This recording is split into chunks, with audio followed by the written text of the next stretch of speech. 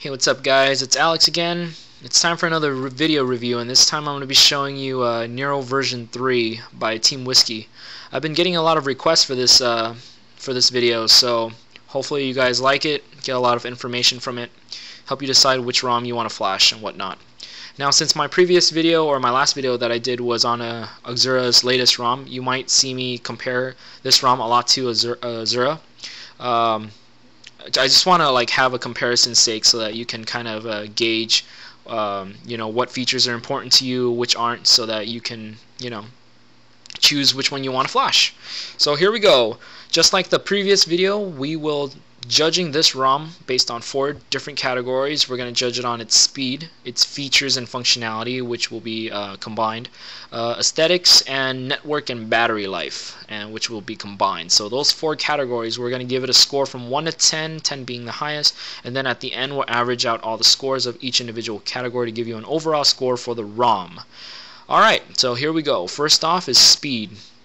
Now, first on the list is uh, when you're when you open up a new ROM and you're playing with it, and you're looking for you know uh, indications of of speed increases and performance.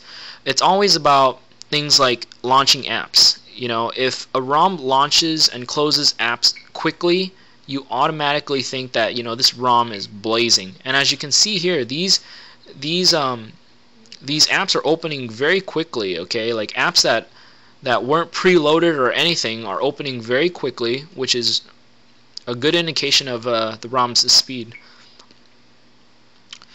So as you can see, just me pressing home and stuff, getting out of uh, opened apps, everything's pretty fast. Alright, and uh, scrolling throughout the ROM is very nice, as you can see right here. Everything flows very good. So scrolling throughout the UI, the win the pages in the app drawer, everything is very good there. And scrolling through long lists is very smooth and fast too. Okay uh, returning home is always really snappy. Um, I really like that. Uh, when you put the phone to sleep and turn it back on there's just a slight delay like maybe like a split second. Like just a tiny bit slower than Xura's wake up time. Uh, it's not anything noticeable or anything that would matter, but you know, just for comparison's sake, it is just a tiny bit slower at at waking up. Uh, unless you do it a, a lot of times, then it starts memorizing what you're doing, and then it does it all fast to disprove your point. Anyways, sorry, my little tantrum. Um, this this ROM comes pre-installed uh, with Voodoo included. However, uh, Voodoo is initially disabled. So once you flash the ROM, you have to enable Voodoo to get its uh, the the speed improvements. But when I did, uh, my quadrant score was 1450, which is typical of these ROMs that are running Voodoo. So good indication of speed. Now uh, in the category of speed, um, wrap it up. I'm gonna give this uh, category a nine. Uh, you know, nothing slow, nothing bogs down, so pretty good overall. Uh, next category we're going to talk about is features and functionality. Uh, first things first, the pull down menu. A lot of people care about these toggles up here, okay? Because this is a really, really good feature that I think should be implemented into stock Android, but, you know, uh, whatever. As you can see, the toggles here will allow you one-click access to turning on and off Wi-Fi, Bluetooth, GPS, silencing the phone, and locking the phone's orientation. Very handy, very handy, very handy. The battery icon up here does not include um, uh, battery percent indicator so it's just the solid icon. So you're gonna have to either download a battery widget or look in the menus and settings uh, to get your battery percentage. So this ROM is basically um, it's basically a clone to look a lot like uh, Gingerbread Android 2.3 it is actually based on Android 2.2 Froyo uh, however. And this particular build, Nero version 3, is built off of Samsung's latest uh, uh leak, JL5. We'll talk more about JL5 later. The keyboards that come the keyboard that comes pre-installed in the ROM include uh, Swype, the Samsung keypad, and uh, the Gingerbread keyboard, uh, themed to be uh, with green accents when you like uh, Shift, Shift Alt and stuff like that. Okay let's see stock we have stock messaging okay so no bubble no bubble messaging like in TouchWiz uh, some people like it some people don't The alarm clock application is TouchWiz. Uh, the calendar application is TouchWiz.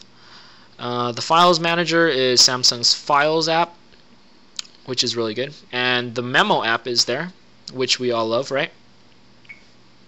Uh, music player is TouchWiz Music Player, which uh, looks a lot better and has a lot more uh, features that are so much like makes it so much more user friendly and uh, usable than stock Android. So that's that. And uh, let's see. We do have the four lock screens, just like all previous ROMs that I've messed around with. Uh, we have the Puzzle, Glass, Android, and Epic Unlock, so a lot of lock screen choices for you. Now, a couple of things I want to point out that the uh, in in terms of features that the ROM doesn't have. Okay, once again, there's no battery indicator percentage up there, which bothers me. Um, I like I like that feature implemented into the ROM. I don't like to have to download battery indicator, the application, or a widget or something like that. I like it implemented there. So that's a bummer. Uh, no extra uh, keyboards like in Xura it has uh, the HTC IME keyboard uh, that doesn't even matter really though because like many people use different keyboards so it doesn't matter that that's not there so it's not going to ding a point off of features just because of that um, what I did notice though is uh, the camera application doesn't seem to have support for front facing camera. This button up here says camcorder. It, it's not the button like in Xura that switches you from the back camera to the front camera. So I am not sure if this ROM supports that front facing camera mods uh, modifications. And uh, the ROM comes in only two flavors. Basically you get a flavor with the gingerbread launcher or the one with the TouchWiz launcher. Um, in Xura, it just comes up with one, and then you can choose what, and it comes pre-installed with like four launchers, and you can choose whatever launcher you want. Um, but you know what? I guess it doesn't really matter there because in the end, you're only gonna run one launcher, and anything else is just bloatware that's taking up space. So, you know, either use the Gingerbread version of Nero version 3 or TouchWiz. Download whichever one you want to use. If you don't like either of those, you can go and download ADW or Launcher Pro, whatever tickles your pickle. Alright, that wraps up features and functionality, guys. I'm going to rate this category an 8 for this ROM. Uh, just because it's missing a lot of the... It's missing some things that I feel should just be, like, absolutely... It should just be automatic. Like, little features like the battery thing, that, that should just be automatic. I mean, that's... It, it seems like it's a small thing, but to me, it, it just... In my opinion, it's a big deal. Yeah, so... It is what it is. Alright, next category we're going to talk about the looks of the ROM, okay, aesthetics. Uh, so as you can tell, this ROM has is based off of Android 2.3 Gingerbread, so you kind of get a look and feel uh, much like the Nexus S. Okay, as you can see by all the blacks, the uh, green tints, uh, the black and green theming, uh, really resembles gingerbread and I think it actually gives it a really nice I really like this theme by the way I like the, the color scheme uh, in the settings menu, you don't have colored icons. As you can see, the icons are um, black and white, which I think is pretty boring since, uh, you know, Android 2.2 on uh, the Galaxy S, the international version of the Galaxy Tab are colored. I figured this one should be too, but it's not. Uh, let's see what else we have here. The market that comes pre-installed on the app is just the stock green Android market. It's not the like a themed colored one like in Xura where it's blue. Uh, now let's talk a little bit about the boot and shutdown animations. I would really love to show you guys it by rebooting the phone, but unfortunately I'm currently conditioning this phone's battery, so I don't want to mess around with the calibration by rebooting the phone. So just take my word for it, it's a lot cleaner than the Xura one. The shutdown animation is the Galaxy S logo, the S, and then it just kind of breaks apart and fades out, which is really nice. And the boot animation is like I think it's really funny, but at least it looks nice and is clean. It's like a bottle of beer and a lemon, like a lemon right here and a beer bottle, and it says Team Whiskey, and it's like flashing like a neon lights that you would see in a bar, like that says open, like the sign. It's funny, but at least it looks clean. So, uh, all right, moving on. Uh, the menus here, as you can see, they're solid. Like they're it's like just like a solid white background. In Xura, it's like faded and it's transparent, which I thought was really cool and uh, aesthetically pleasing. So, but what is nice that they included in uh, Nero version 3 are the addition of Nexus S live wallpapers. Like, look, this is the microbes live wallpaper that's in the Nexus S, uh, which is really cool, and then also the you know the new Nexus S wallpaper. Very nice, very nice. I like that. Okay, and then you know like on all, uh, down to looks. You know, the ROM they've sacrificed a lot of uh, eye candy stuff like transitions and animations, but in the end, I think they did it to basically for the good of speed and optimization. So I'm all for that. For aesthetics, we're gonna rate this ROM a nine. It looks good, nice color themes, nice transparent uh, widgets here. The power controller and the search widgets are transparent. Overall, it looks very nice, very nice and clean. Alright, moving on to our last category, network and battery. Uh, straight off the bat, very simple. This ROM is based off of JL5, which is a great improvement over JL4.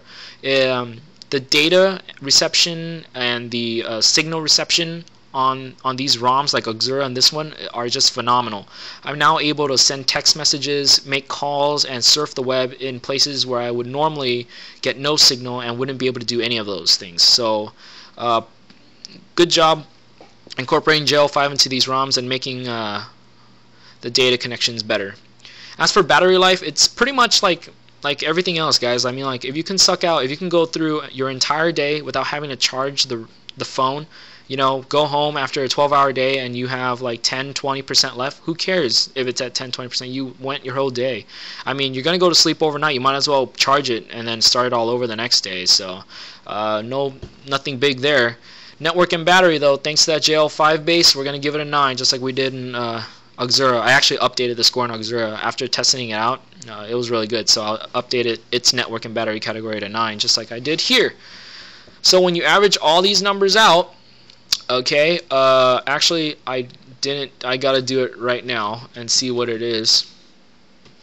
Uh, okay, so when you average out all those numbers, a 9 for speed, 8 for features and functionality, 9 for aesthetics, and 9 for network and battery, you get an overall ROM score of 8.75. 8.75 for Nero version 3. Not a bad ROM, guys. Like once again, these ROMs are all they were all very well made, and their developer and the developers were are really did a really great job on optimizing their ROMs. So performance-wise, they all perform pretty much the same. They're all very good. Uh, in the end, you got to choose what you like and what's more important to you, and decide if that is big enough, big enough of a factor to make you flash the ROM. And if it is, there's your ROM.